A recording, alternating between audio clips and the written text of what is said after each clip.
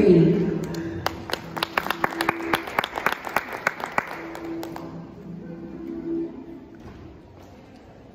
now let's meet our next Cinderella Talk participant number 17. Please help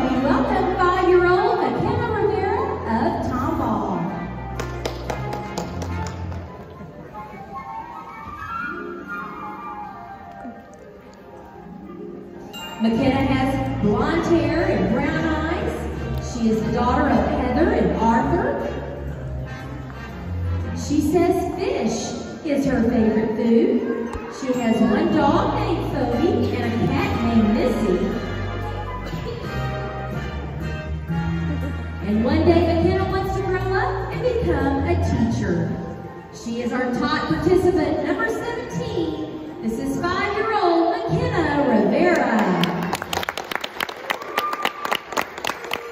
And that completes our